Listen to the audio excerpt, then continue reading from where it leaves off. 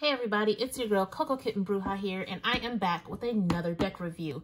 Um, like the previous video said, with this Chakra Wisdom Oracle, this particular video is going to be the Chakra Wisdom Tarot, also by Tori Hartman. Um, I will say that as far as tarot books go, tarot cards, tarot decks, and the guidebook, I appreciate the Fool's Journey as it is explained in this particular deck. Now, a little bit of background. Um, after getting the Chakra Wisdom Oracle um, and using it, being very comprehensive, very accurate, um, I decided to take my divination and chakra work a little, you know, progress a little bit with it and decided to not only get this particular tarot deck, I actually got a few more chakra decks, which of course I will go over in other videos. But I kind of fell in love with this particular uh, deck just simply because of the Fool's Journey as it's depicted in this particular deck, uh, which we'll get into the guidebook in a second. But I feel like the way that Tori Hartman um, incorporates chakras into this particular deck is phenomenal. The way that um, it's integrated into the pictures and the color schemes, everything is awesome. So let's dive into this so you guys can see what I'm talking about. Now, again, we have this slide out box, which I'm not a huge fan of because this tends to come out kind of easy, but that doesn't take away from the deck. Pretty decent guidebook um, as far as size, um, font quality, all of that good stuff. Again, we have our table of contents listed here. Um, just like with the Oracle deck, it goes into, you know, what are chakras, what do chakras do, um, and then how it's incorporated into tarot, and then how to use the book and the guide, I mean, and the deck. So it gives you little quick references uh, throughout, but I think this is part of one of the spreads here. And then it talks about the major arcana. And then it goes right into it here. So it breaks down which chakra it is, um, and then it just goes into keywords. If it's reversed, what planets align to it. There's a meditation here. And then it also gives you next steps, steps next actions, and advice. Um, it's in color. You guys know how I feel about guidebooks with color. So I'm in love with it. Um, but just really, if you go in and you start to read how it all breaks down, I absolutely love it. Um, and then once you get into the minor arcana, it's broken down differently. So it goes by the chakras. So you might have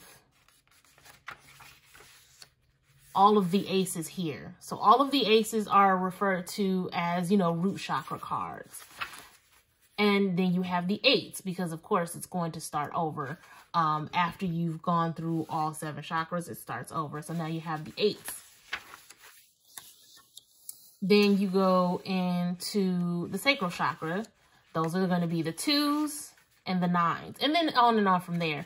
But the way they're broken down, um, I absolutely love. I remember pulling the Three of Swords. And I'm going to find that card so I can show you guys. But the typical meaning of the Three of Swords is totally different than the message I received when I pulled the Three of Swords. So I'm going to show you guys the imagery. Now, as an African-American woman, I love diversity in tarot decks. I love seeing people who look like me. I love seeing other cultures represented. So when I see a deck that lacks diversity, normally I shy away from it. It doesn't really call to me. I'm not all that keen on it.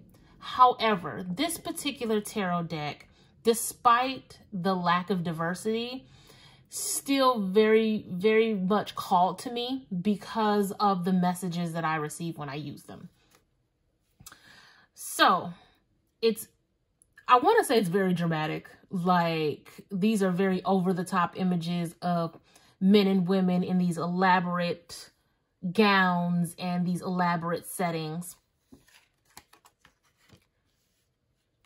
Which honestly, had this been any other type of deck, I probably would have shied away from. It's very much District 1 and 2 of the Hunger Games, if you feel me.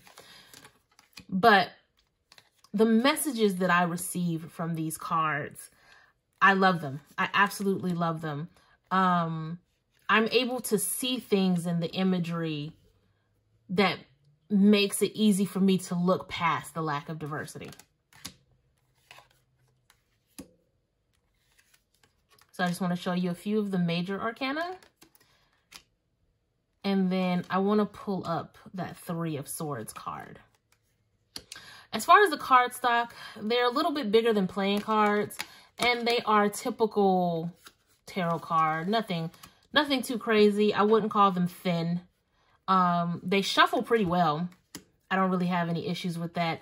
I will say that with a lot of use, they will start bending over time because they aren't, they don't have any sort of lamination to them. They're very much straight card stock.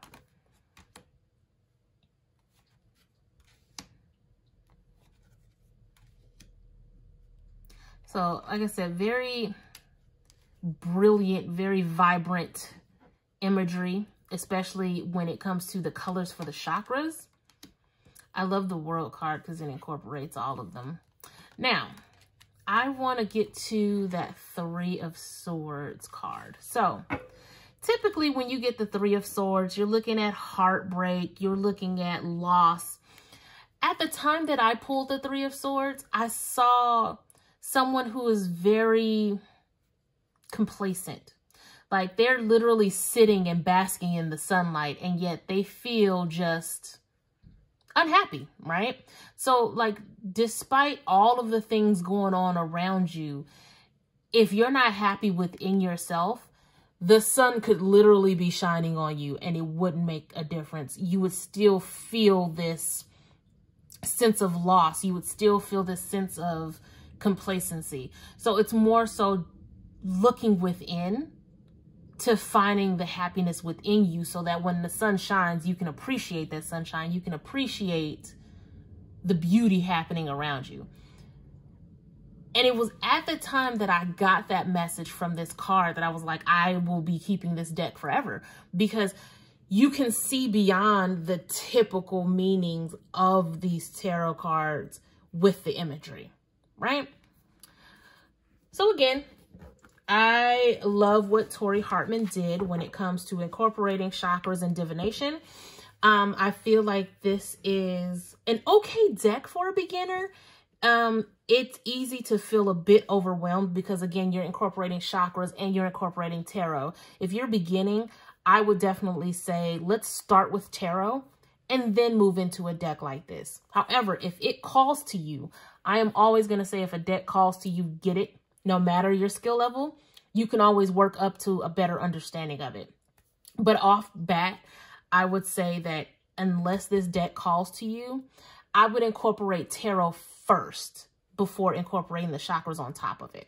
Um, intermediate, advanced, this is an awesome deck to have. It's a great standalone deck. It's a great clarifying deck. Um, I don't think you'll be disappointed at all.